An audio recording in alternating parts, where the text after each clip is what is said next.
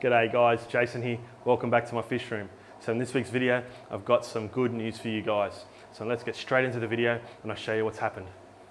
I think this is uh, probably the eighth or ninth time I've spawned these guys, my Neolamprologus tretocephalus. It is going to be the third time I'm trying to save the fry. And if you've been on my channel for a while now, you would know the first few times I spawned the trets, it was only the female that was spawning and none of the other trets in the tank were spawning with the female. She was just laying the eggs and they were obviously unfertile and fungicizing up. Until this guy cottoned on to what he was supposed to do and he began fertilizing the eggs with her. This is going to be my best chance yet because they've finally spawned on some rocks. Last few times they've been spawning on the actual sand bed. When they dig up the sand, they're digging up eggs with the sand and spitting them out. This is the first time all the eggs are fertile and are on rock. So I'm very, very lucky. I think I've got a good chance of raising these fry.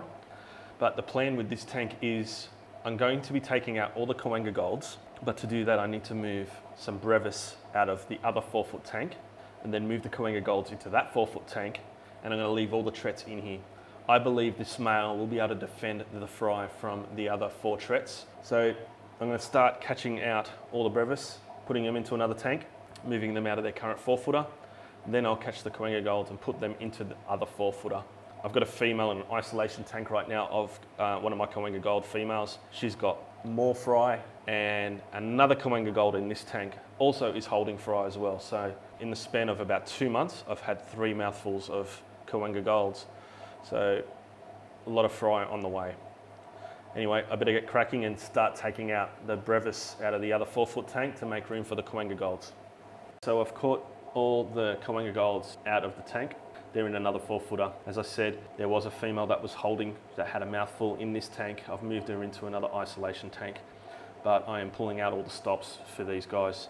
I really want to successfully spawn these Neolamprologus tretocephalus, these trets, the two times that they have spawned on the sandbed, I have pulled out some wriggling fry, raised them to the free swimming stage, but they have all passed away. And I believe the reason they passed away was a similar issue that I had with my Calvus that I described in my November video. If you haven't watched that video, you can watch it here. I just believe I didn't have the bottom of the tank clean enough for them. So hopefully this time with the male uh, raising them in the tank, I'll have a better success rate. Uh, I believe this male will be able to defend the fry. So he's doing a really good job at keeping all the trets away from his clutch. Um, I, I, don't want to take the female out that he spawned with because that might break their bond, even though their bond kind of looks like it breaks after they spawn. My pair anyway. I'm not sure if all tret pairs are like that, but definitely my pair. Uh, they come together to spawn. After two or three days after they've spawned, the male starts chasing the female away from the eggs and he, and he, and he tries to look after them himself.